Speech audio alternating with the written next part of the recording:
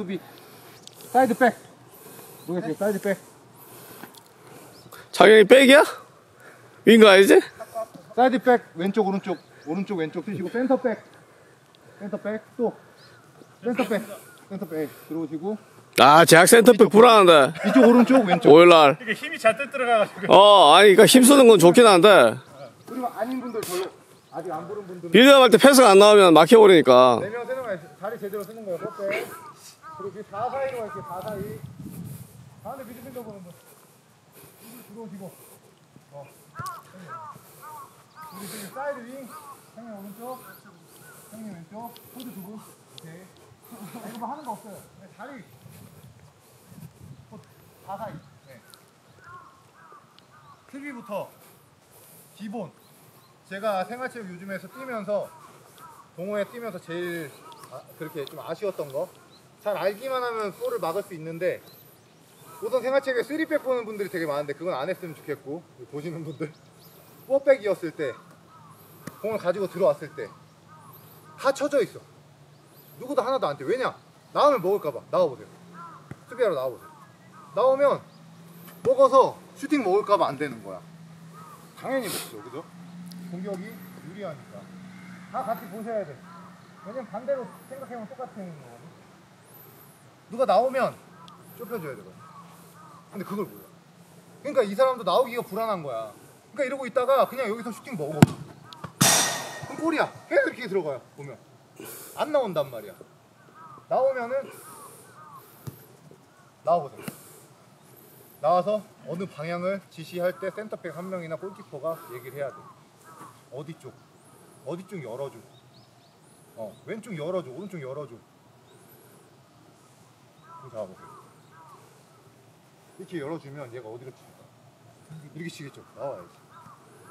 이거를 나가보세요. 저 공격이야. 나가서 수비 자세 했어. 수비 자세 했어. 그럼 내가 있는 이 정도는 와야 돼. 좁혀야 되고. 네, 몸을 여기서는 사이드 백은 잘 들으세요. 사이드 백은 이렇게 좁혀야지. 그죠? 내 뒤에 공격수가 있으니까. 이렇게 서 있으면 이거 어떻게 따라갈까요? 한번 더 돌아야 되잖아. 몸을 우리가 수비할 때, 공격할 때 똑같이 몸을 어떻게 돌려놓느냐에 따라 되게 중요하거든요. 몸을. 볼이 저기 있으면 우리 이렇게 봐야지. 근데 다 이렇게나 이렇게 있어. 볼 넘어가면 막 우왕좌왕이야. 근데 이렇게 틀어놓으면 바로 내릴 수 있잖아요. 볼 쪽으로. 몸을 항상 틀어놔야 돼. 공이 저기서 우리 공격을 하고 있, 있더라도 수비들은 몸을 틀어놓고 준비를 해야 된다고. 우리 공격, 상대의 공격수가 어딘지 보고 공격수야. 몸을 틀고 이렇게 준비하고 있어야 돼. 우리가 공격하고 있어도 숨겼을 때 바로 수비할 수 있는 타이밍이 있어야 된단 말이야. 근데 이게 준비가 안 되고 여기 있으니까 숨겼어. 패스 들어오고 가니까 돌아쓰고 돌파 먹고 다 하는 거야. 공격을 하고 있을 때 오늘 수비부터 얘기하니까 공격하고 있을 때부터 그냥 이렇게 이렇게 서 있는 게 아니고 준비를 하고 있어야 되는 거야. 볼이 있는 방향으로 볼이 있는 방향 어 근데 볼이 저기 있는데 이렇게 서 있으면 안 돼. 안 맞잖아. 네. 볼이 이쪽에 있으면 이쪽, 볼이 저쪽에 있으면 이렇게. 이건 기본적으로 가운데 있어요 가운데 있으면 어느 정도 서야죠. 어, 내 공격수가 어디 있는지는 봐야지. 공격수가 안쪽에 있으면은 이렇게 쓰던가 가운데 한 요 정도 있으면은 또 정가운데 있을 수는 없잖아요. 정가운데 있으면 이렇게 기다리면 되지. 내가 정가운데 있는데 볼 이렇게 서 있을 때는 거의 없어. 볼 이렇게 서 있어도 이 정도는 둬야지. 네, 그건 자기에 따라서. 하지만 준비 그리고 누가 튀어 나갔을 때 방금 처음 얘기했던 거? 수비가 튀어 나갔어. 미드필더 똑같아요. 수비하는 거. 공격수도 거의 똑같아. 누가 튀어 나갔으면 걔 혼자 뛰어 나가면 만약에 걔 혼자 뛰어 나갔어 그럼 끌어내려야 되는 거고 같이 수비를 할 거면은 어느 정도 좁혀주면서 나가야 돼. 나갔어? 내가 센터백이에요. 내려와 보세요 그 공이 수비야 공 놔둬 공 쪽으로 나가요. 그러면은 벌려 있었을 거 아니야. 더 벌려 있었어. 더 벌려 있다가? 나갔어 어느 정도 좁혀 들어와야지. 왜냐? 얘가 먹었을 때 바로 나가서 부셔야 되거든.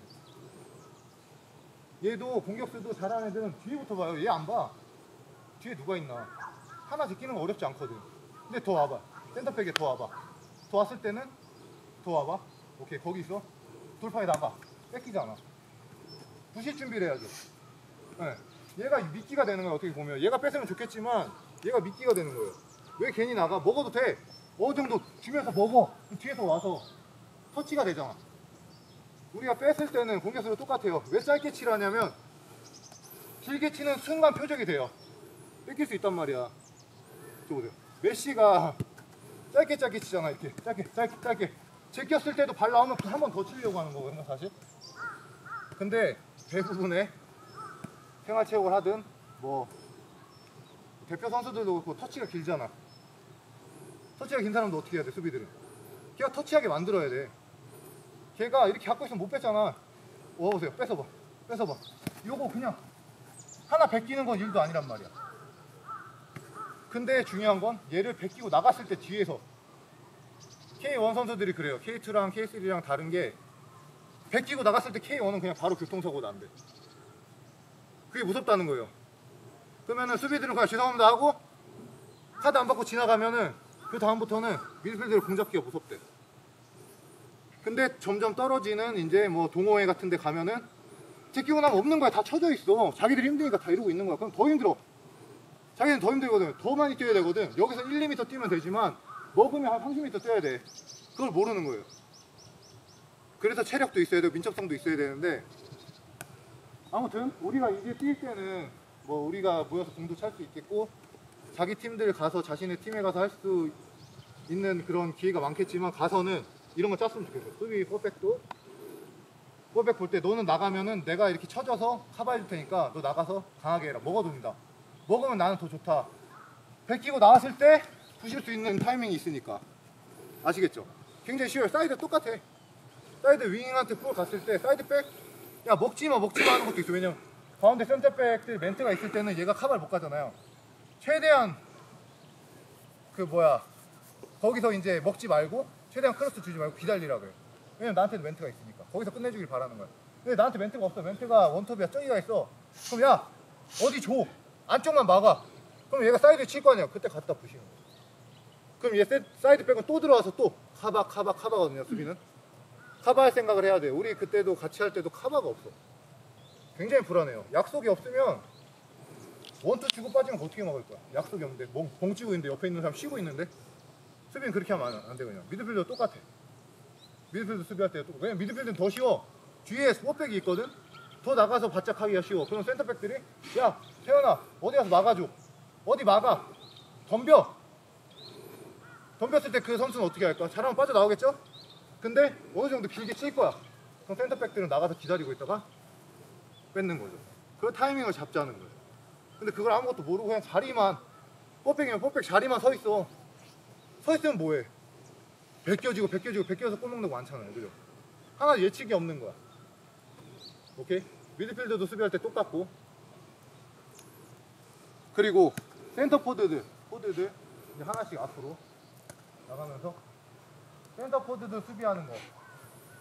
이 선수들이 거의 다 안 뛰어줘요. 이 선수들이 안 뛰어주면은 수비 타이밍이 안 잡혀 센터백들도 볼이 이렇게 갔어. 근데 얘가 압박을 하나도 안 해. 그럼 얘는 더 치고 나갈 수 있어. 그럼 여기서 공격이 시작되는 거예요. 그럼 우리 더 불안하잖아. 뒷공간 바로 먹을 수도 있고. 이 사람이 뺏지 않아도 돼. 몰아주는 거야. 뛰면서 센터백이야. 그럼 미드필더 오고 미드필더 들어오고 내가 야 사이드로 볼게 이렇게 몰아주는 거야. 얘가 이렇게 얘네 준비 준비 와서 까. 그게 수비거든요. 그리고 얘가 센터백들은 더 준비해야 되는 게 이 친구가 이분이 몰리면 어떻게 되겠어? 뽕차이. 뒤에 차겠죠. 그럼 수비들은 어떻게 준비해야 돼? 몸 돌리고 준비하는 거. 차겠다. 유인하는 거예요. 내 뒷공간에 때려주는 건 이럴 때는 아주 땡큐지. 우리가 유인했잖아. 모를 때 먹는 건 위험하지만 압박 압박 했어. 분명히 킥이야. 그럼 뒤에 먼저 물러 있어. 공격보다. 우리 볼이야 다시 갖고 나서 패스하면 돼요. 이런 조직이 이런 거거든요. 아니면은 막 뛰어갔어. 근데 얘가 접어. 공격이 접었어. 그럼 가운데 줄게 하면은 가운데에 더 몰려 있어요. 저기. 어. 그럼 이 여기 포드도 어느 정도 와서 가운데 줄 수 있게. 우리가 보면은 사이드로 항상 공격을 주는 게 안전하다 생각하는데 아닐 수도 있어. 왜냐면 우리 가운데에 더 사람이 많거든요, 사실. 가운데를 유인하는 거야. 우리가 physical적으로 준비가 돼 있다면 힘이 있다면 가운데서 부시는 게 더 확률이 클 수도 있고 바로 뺏었을 때 바로 공격으로 나갈 수 있거든요. 알겠죠? 그런 개념을 좀 갖고 하시면 아마 좀 수비는 좀 편하지 않을까. 이게 별거 없거든요. 그죠? 지금 드는 게 별거 없어요. 몇 가지 없잖아. 근데 수비 준비하는 거, 수비들이 커뮤니케이션이 되는 거 이런 거 알고 있으면 야 누구야 포워드 어느 정도로 잡아줘. 야 미드필 준비해. 수비 뒷공간 준비해. 하면 끝나는 거야. 사실 그럼 쉬운 거야 게임이. 근데 이제 뭐, 뭐 좋은 선수들은 이제 그걸 뚫겠죠. 그때부터 이제 우리의 피지컬과 기술에 그리고 그런 판단에 맡기는 건데 아마 동호회에서 찰 때는 이게 괜찮아. 왜냐면 다른 분들 다 못 뛰거든요 상대편도. 우리만 한두 발만 미리 떼어주면 쉬운 거예요. 오케이? 그리고 하나 공격하는 거. 이 수비는 이런 부분 모르시는 거 좀 이따 물어보시고 좀 시간이 없으니까 공격할 때 가장 제가 봤을 때 없는 거. 센터백이 네분 네 분 서보세요. 뛰어. 미드, 미드필더 두명 쓴다고 서, 쳤을 때 수비야. 패스. 리턴밖에 못 줘. 계속 이거 이거 시작이야. 리턴 주고 빵. 빵 하면 또 뺏겨. 볼을 잘 받으려면 어떻게? 해? 이건 굉장히 뭐 선수들도 잘 안 하는 건데 체인지 이쪽으로 오세요. 에이 받는 척하면서 이쪽으로 와. 그럼 여기다 주는 거 여기 아니면 못 따라왔어. 그럼 내가 프리가 나잖아. 어쨌든 뛰어야 돼. 계속 체인지 하면서 받아야 되거든 볼을. 다시 이쪽으로 나랑 체인지. 나랑 체인지. 에이 나한테 줘. 그렇지. 이렇게 받아 나갈 수 있는 거야. 근데 서서 받는 선수들도 있어요. 왜냐면 워낙 잘하는. 어, 기술이 좋은 사람 줘봐. 어, 이렇게 해서 이렇게 돌아서서 갈 수 있는 사람들은 이렇게도 받아. 또는 팬이다. 볼 오기 전에 여기까지 와 있다가 헤이 나 따라오지 마. 맞대고 하는 선수들도 있어. 근데 이게 안 된다면 가장 쉬운 거는 둘이 맞춰. 들어가기 전부터 우리 볼 받을 때 체인지 한번 해보자. 천천히라도. 그러면은 여기서 패스. 이분한테 줘봐요. 최대한 넓게 서서. 빌드업 할 때 빌드업 하잖아요. 패스 줄 때 같이 움직여. hey! 그렇지! 이렇게 돼버린단 말이에요. 이런 체인지가. 끈 다음에 논스톱으로 줄 필요도 없이 체인지 했는데 무조건 어딘가 펴. 왜냐? 아까 우리 인- 이동 컨트롤 했듯이 우리가 이동을 했거든. 그럼 수비들은 자기 멘트라도 아무리 잘 따라가도 갭이 생겨요. 아까 봐봐. 없, 없는 거예요. 줘봐. 여기서 받으면 이렇게밖에 못해. 근데 수비가 뒤에서 따라와도 에 움직이면서 줘봐. 이렇게 갈 수 있는 거야. 이 차이거든요. 다시 미드필더들이 태연이도 계속 움직여요. 움직이셔야 돼. 센터포워드 똑같아. 체인지. 센터포워드는 뭐가 있냐면 이제 포워드 포워드 또 어디 갔어? 이런 게 있다는 거예요, 그냥.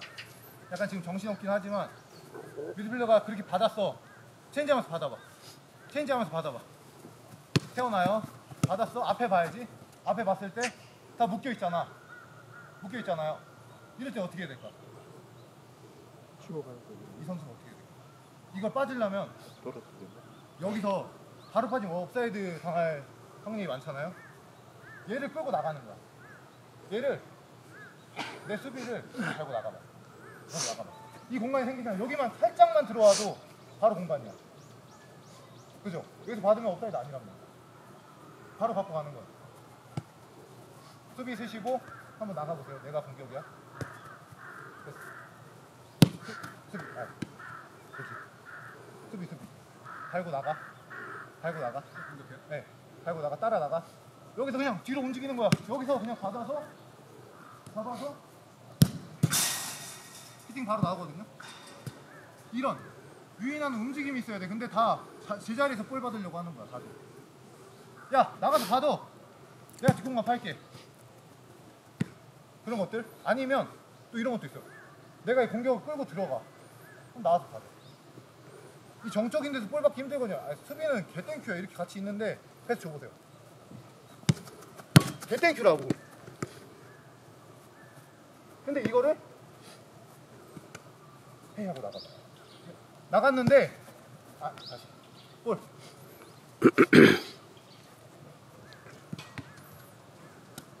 끌려 나갔어. 나갔는데 여기를 안 주고 저기 줘봐. 저기 저기.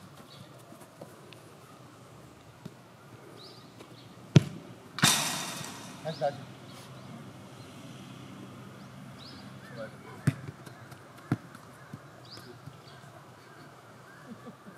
들고 나갔어.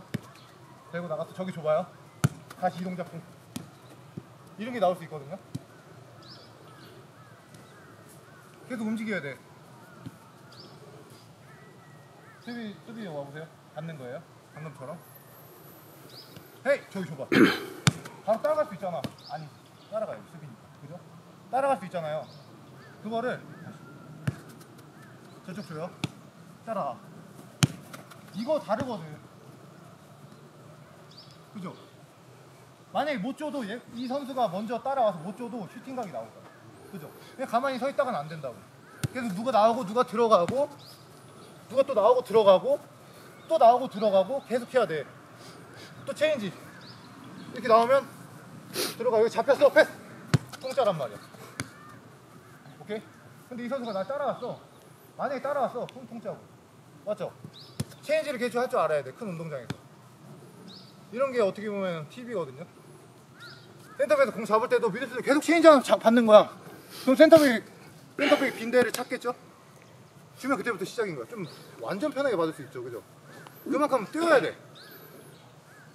뛰어야 되기 때문에 스텝하고, 코어 훈련하고, 하체 훈련하고 해야 된다는 거예요. 오늘 게임 할 때 이런 걸 볼 거거든요. 많이 뛰시는지. 근데 쓸데없는 움직임을 최대한 줄여야 되고 그러려면 이 경기장 전체를 우리가 어느 정도 계속 어, 읽어야 돼요. 수비가 저기 사이드에서 막 우리끼리 막 우리 우리 서- 편이 공 잡고 막 사이드 그 코너 flag에서 막 애들이랑 싸우고 있어. 우리 다 이러고 기- 구경해. 야 저거 어떻게 하면 뺏을까? 언제 뺏을까? 이러고 있거든요. 경기를 잘하려면 그 1분 1초도 집중해야 돼. 저게 끊겼을 때 어떻게 들어올까? 내 멘트는 어떻게 뛸까? 난 그보다 미리 뛰어야지. 라는 생각을 계속 해야 된단 말이에요. 그러면은 이 선수는 서 있고 나는 뛰게 돼. 그럼 우리가 장악하는 거야, 게임. 계속. 계속 우리 게임을 갖고 오는 거예요. 그런 거거든요, 사실. 그러니까 좀 많이 뛰고 많이 움직여야 되고 그리고 창영이랑 가끔 헛살을 할 때 보면은 겹치는 움직임이 많아요. 왜 그럴까요? 이 경기장을 다 안 보고 있는 거야. 골만 보고 있는 거야. 내 뒤에 우리 편이 여기 여기 있는데 우리 둘이 여기 같이 있을 필요 없잖아요, 그죠? 내가 이 전체를 다 봤다. 내가 이렇게 안으로 들어가면 프리가 될 수도 있고 프리가 될 수도 있어요, 그죠? 그러니까 고개를 들고 다 보라는 게 그런 거예요. 우리 편이 어디 있지? 그리고 볼 왔을 때는 나는 어떻게 치고 들어갈까? 세워놓을까? 리턴 낼까? 까지 생각을 많이 해야 돼. 축구는 쓸데없이 많이 안 뛰어도 돼요. 그러니까 이런 경기를 지금부터 어, 딱 10분씩 세번 할게요. 10분씩 세번 하는데 이렇게 움직이시는지 보다가 제가 아닌 것 같으면 끊어서 좀 그런 걸 이야기 드리고 그리고 10분 하고 5분 쉴 사이에 같이 대화하면서 했으면 좋겠어요. 물 마시고 다시 시작하겠습니다.